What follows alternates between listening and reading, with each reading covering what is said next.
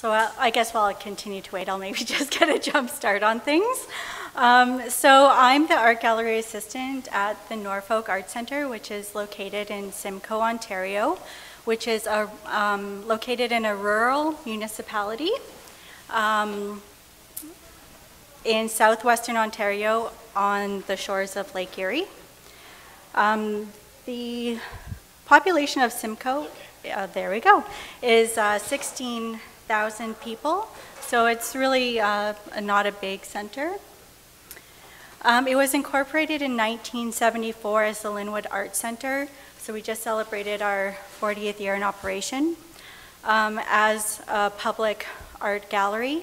In 2003, it was assumed by Norfolk County um, and became part of the municipality's Heritage and Culture Division. And at that time, uh, the name was changed to the Norfolk Arts Center. Uh, we are also a National Historic Site, uh, so you can see um, that we're actually housed in a historic building, a neoclassical structure that was built in 1851, which can you know, cause some issues of its own. Um, there are two permanent full-time staff, myself and director curator uh, Deirdre Chisholm.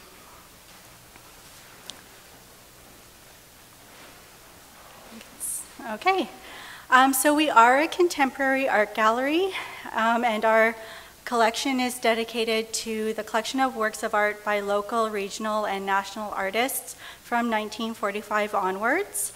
Um, we have a mix of uh, exhibitions that are um, curated from outside art, or that involve outside artists and uh, permanent collection works, um, which we um, we accompany those exhibitions by artist talks, films, lectures, workshops, etc. Um, compared to most of you in the room, we have a rather small collection. Um, just over 800 artworks, and that includes um, works that we have on our grounds um, outdoors.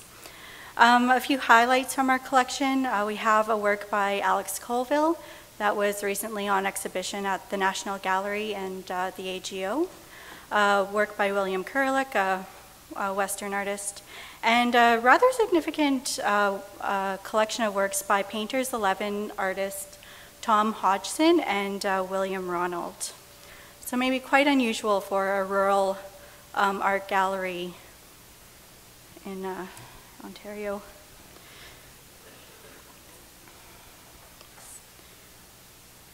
So um, the next slide is going to say why reorg.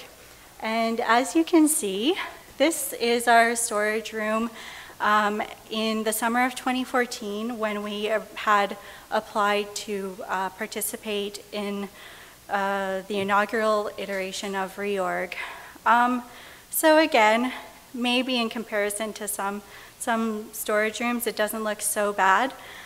But it was uh, certainly causing some problems for us um, in terms of accessibility to the artworks and um, the conservation of the artworks. Um, so you can see at the um, slide on your, I'm just going to use this. Uh, did you? There we go. Slide here.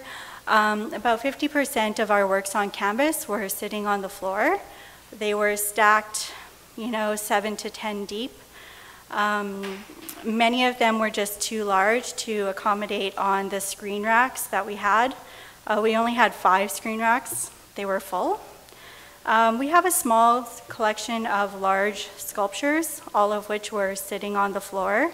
Um, here again, you can see in front of all of our paintings. So every time we had to access a painting, um, we also had to move those sculptures. Um, the layout was just not conducive to moving large works of art, and navigation was a major problem for us. Uh, we also had a lot of non-collections works that were stored in the collections room, and uh, by that I mean AV equipment, packing material, um, boxes of VHS tapes from the 1980s, um, special event supplies, all those kinds of things. Um, so we had made some incremental progress over the previous two years. Um, through the assistance of Young Canada Works, we were able to hire collections assistants. Um, with their help, uh, we were able to condition report on and digitize 100% of the collection by the time we were applying for reorg. And we were doing this in preparation for the establishment of a digital database, which we began in the summer of 2014 using Past Perfect software. So our storage self-evaluation.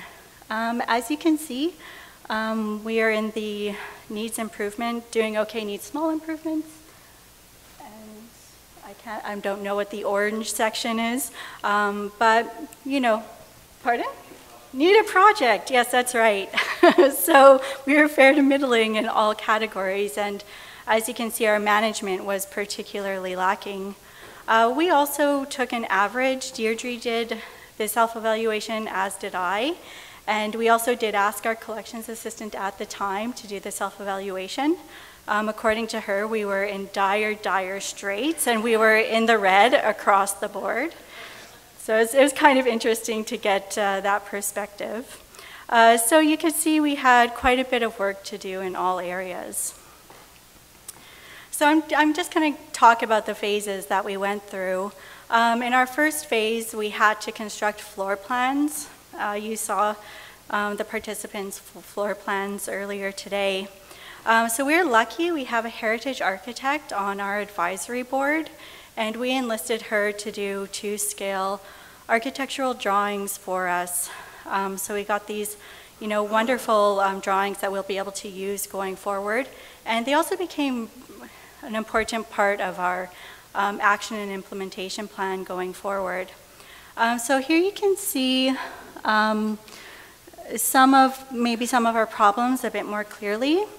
Um, our storage racks, our screen racks for our paintings um, are encased by utility shelves. Um, and then bookcases, sculptures, pedestals on this, the other side. So actually accessing any work on our screen racks was a real challenge. Uh, we have some fixed shelving here, map cabinets, and some other rather decrepit compartmentalized storage units along the wall. Um, so while, you know, most of it is collections, we had a lot of collections on the floor. Um, and the pink uh, non-collections are you know, a kind of mix of loose works on paper, oversized portfolios that we couldn't accommodate in proper storage, and we're kind of just sitting in large makeshift uh, cardboard portfolio boxes, and a lot of packing material, and even um, cabinetry that we weren't using anymore but hadn't been discarded. Um, yeah, so the condition report. Um, I have to say that our implementation plan, as you will see, was pretty straightforward. Um, but the condition report, I, I feel was maybe the most time-consuming part of the reorg project for us. Um, so it really asks you to take a very close look at, you know, these four categories. Um, Simon had asked us to um, submit the report by the end of January. We also had three grant deadlines, two due in January, one of which was MAP, two exhibitions to install, and a fundraiser to start planning. So it was a pretty, um, pretty intense month for us. So some of the key findings in relation to the collection had to do with, um, you know, uh, the metrics that came out. So we discovered that about 80% of our floor space was occupied by units at that time. That has not changed. Um, our, our, average unit fullness, when you considered um, the number of non-collections works, especially that were there um, that could be removed, was really not too bad, 66%. Uh, we just didn't have enough furniture to actually accommodate all of the collection. Our average room height usage was 75%. And our overall fullness was at about 60%. Uh, we had already, we had always known we had a lot of works on paper, um, but through the collections analysis, we discovered that about 70% of our collection is works on paper, 25% um, paintings, and the rest is comprised of textiles and sculptures. on the good side, about 95% of the collection at that point was inventoried and accessioned, and about 50% of the objects could be retrieved within three minutes by Deirdre or myself. Um, because we have had no location system at that time, um, it would have been a real challenge for um, anyone who didn't have the kind of institutional memory that Deirdre or I had to, to find collection works.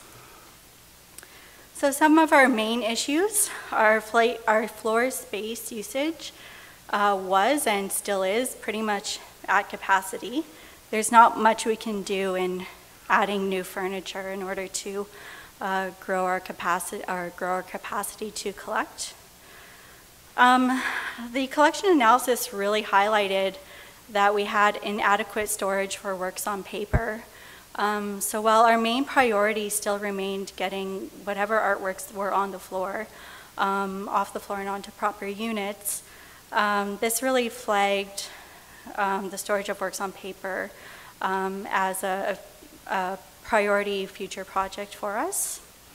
Um, the screen racks uh, for our paintings were highly unstable and again, just not large enough to accommodate the collection uh, no storage units for the large sculptures, and no location system, which was highly problematic.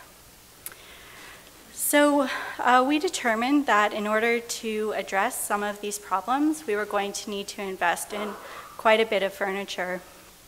Um, so we thought to address some of um, the storage problems we were having with our works on paper, we could invest in some new flat file cabinetry um, to maximize on what uh, vertical space usage we had. A screen rack system with eight to 10 racks, five mobile platforms for our large sculptures, um, a new fixed shelving unit, uh, compartmentalized shelving unit for our framed collections. Um, we also needed to establish a location system and uh, we really need to relocate all of our non-collection items um, to another room in the building. Because in such a small space, our storage area is only, it's uh, 18 by 32 feet, and our ceilings are only eight feet high. So it's a pretty small space to be maneuvering um, some of the larger artworks. So what was our project budget? well, um, in addition to those, um, uh, you know, those additions of furniture, we also really wanted to take this opportunity to replace the flooring um, and paint the room. And we had initially thought uh, replace our lights with new energy efficient LED lights. Um, I don't know if you noticed in our, the earlier photographs, but we had previously had carpet in the collections room that was at the very least 30 years old um, it really needed to be removed and replaced with an industrial flooring that would just be more conservation friendly.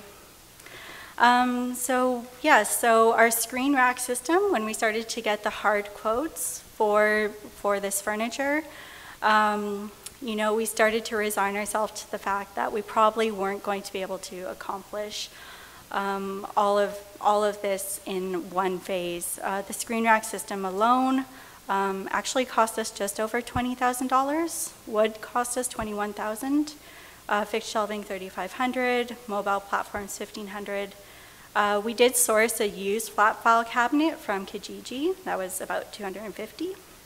New flooring, 5,000. Painting, 1,000. So our project budget was over $31,000. Um, with lights, it would have been well over 35,000.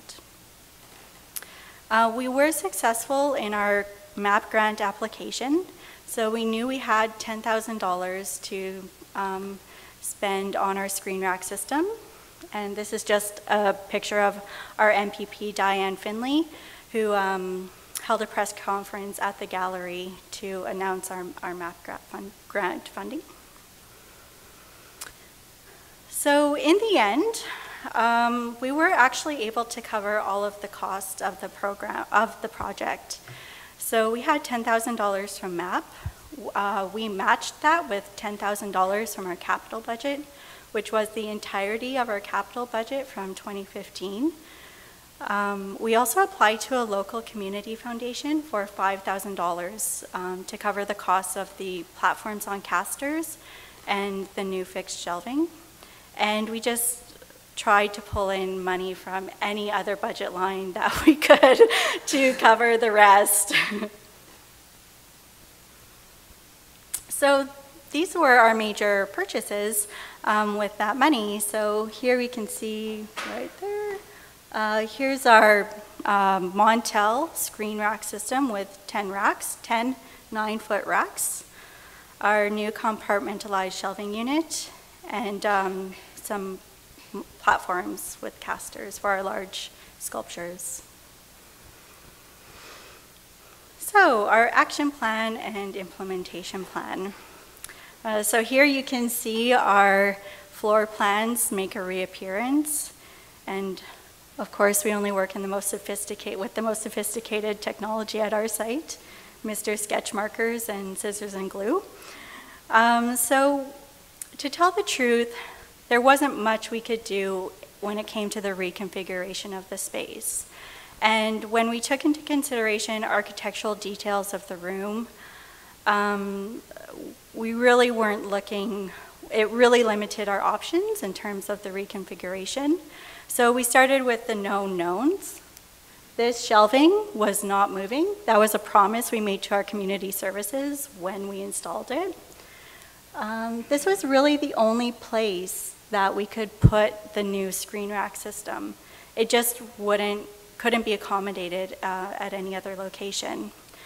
Um, and then again, here and here, those are really the only locations that we could put um, our second fixed shelving unit and our, our map cabinets. So we are basically considering how are we going to move the utility shelves and how are we going to configure the utility shelves and where are the mobile platforms going to go. And uh, we just determined they would kind of be housed down here.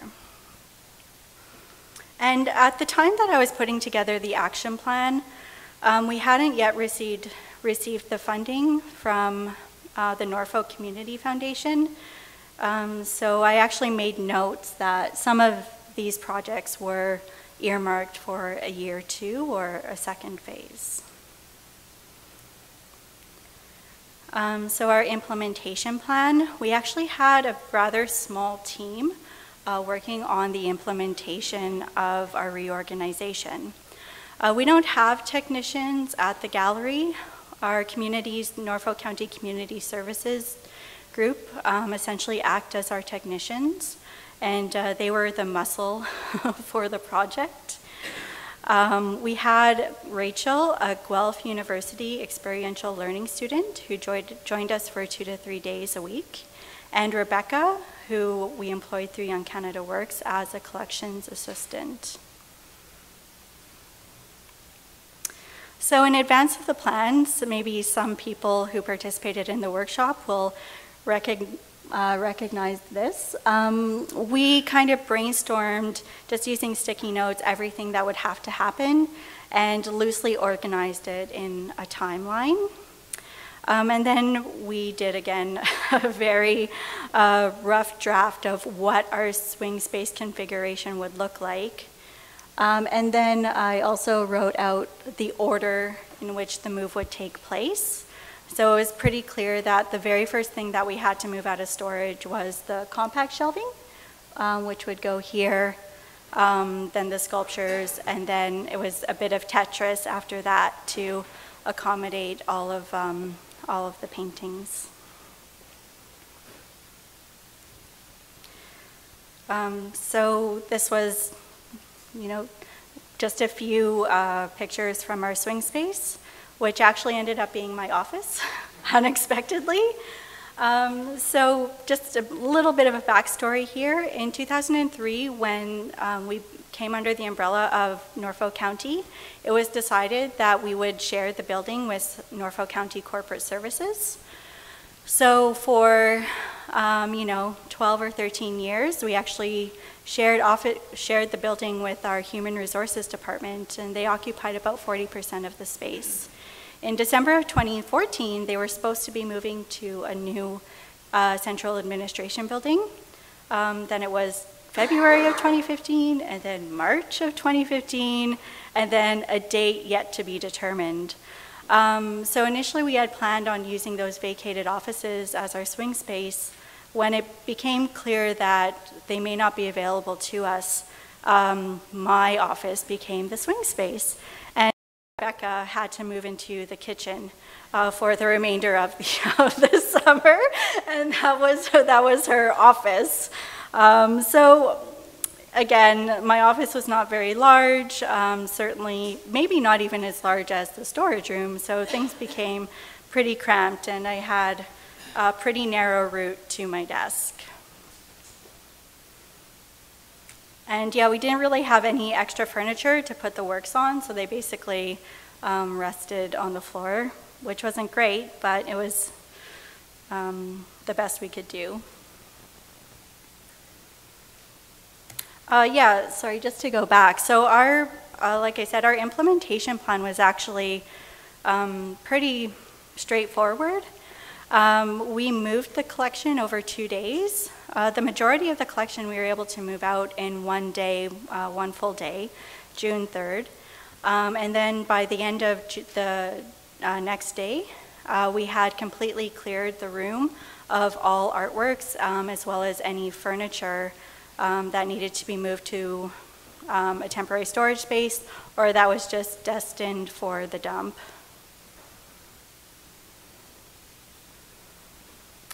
Um, so the collection basically sat there for the next, in my office, for the next 10 weeks um, while we completed some renovations and installed new equipment.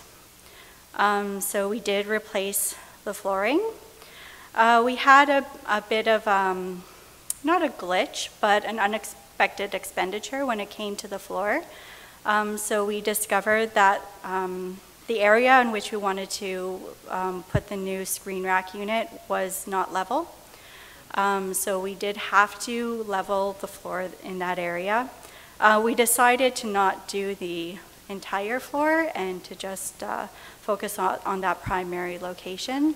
Um, so it added an extra $500 um, to our budget that we hadn't planned for, but it was, we felt absolutely necessary. Uh, we did have the room painted, um, and then about mid-August, um, out of the box associates who we worked with um, to source our Montel uh, racking system um, installed the rack just over a couple of days. And then, uh, yeah, so these are basically the after pictures of our storage room. Um, the repatriation was, again, a pretty painless um, process, and we were able to repatriate uh, most of the works within a two-day time period. Um, we didn't really worry about taking an inventory of where the works were going. Uh, we did do an inventory of works that went onto the new screen rack unit um, because we didn't want to have to take them off and handle them again um, to, do, to do that inventory. Um, aside from that, we basically just moved everything in, and in the last work, uh, the last week of her work term, uh, Rebecca spent that time um, recording the locations of all of the artworks in the collection. Um, yeah, so you can see here our, our I'll just go forward, that'll be easier. So these are before and afters. Um, you can see a vast improvement to our ability to house our um, collection of works on, our works on canvas. Um, we were able to achieve our primary goal of getting all of our artworks off the floor and into proper cabinetry. So these are some of our key results, and you can see here um, where we improved in our self-evaluation. So our management improved a little bit. We still have a long way to go in that particular area. Um, and in building in space, it improved a little bit as well. Well, where we made real headway was in the collection and furniture areas. Um, so it's worth noting that while renovations were taking place, um, Rebecca and Rachel um, were really um, industrious and managed to populate our collections database with 100% of our accession records. That was a great outcome for us at the end of the summer um, and has really improved our ability to manage the collection. So we saw a 50% increase as well to storage for works on paper through the purchase of that second file cabinet. A 25% increase to our vertical storage capacity, a 25% increase to our fixed shelving capacity. 99% of the artworks are off the floor and housed in appropriate storage units. We have one um, very heavy, long, wide sculpture that doesn't quite fit in any of our current units, so we'll have to deal with that going forward. The location of all artworks are recorded and ready to be input into the database. And um, presently that is happening. We have a co-op student from our local high school and we have a volunteer that comes in once a week and um, they've been inputting the locations into the database. And I suspect um, that by the time our collections assistant re resumes work in the summer, Rachel is joining us again. Um, that will have been completed. Um, so all of our non-collections are, have essentially been removed with the except, ex exception of works waiting for review by the acquisition committee or waiting to be accessioned and every object can be retrieved without moving more than two other objects. So we really did achieve all of our primary objectives within the scope of this project. That being said, um, we do still have a number of outstanding issues, particularly in the management area. Um, we have a number of collections policies and procedures that need to be finalized and put into a manual. Um, you know, we don't have an emergency plan to update, unfortunately. We still have to start from scratch uh, where that's concerned. Um, that's become um, a significant focus for us going forward over the next couple of years.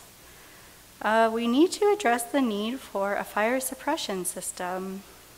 Given the age of our building, um, you know, if it were to catch fire, it would probably just go poof, and so might our, the entirety of our collection. Um, so this is something that we hadn't really given much thought to, to tell the truth, prior to reorg, um, but has now become a bit of a red flag and uh, something we really need to address. Uh, we still need to address the issue of uh, storage for works on paper. Um, and going forward, we'd like to replace the utility shelves, which are really pretty unstable, um, with new compact shelving. Um, and this would probably be a project for 2017. So we have some um, furniture upgrades that we still want to do that will allow us to grow our capacity and um, be able be able us uh, enable us to um, resume a more robust uh, acquisitions uh, kind of policy. We had a moratorium on collecting for about 10 years. Um, so this um, this project will begin us to allow allow us to begin collecting again on a small scale, and then hopefully with uh, a few more upgrades we can in, increase that that uh, activity. So that's basically all I have to say. So thank you, everyone. And uh,